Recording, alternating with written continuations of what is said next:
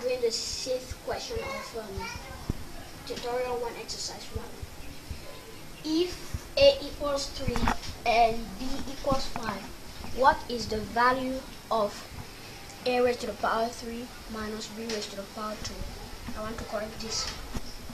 Let's see.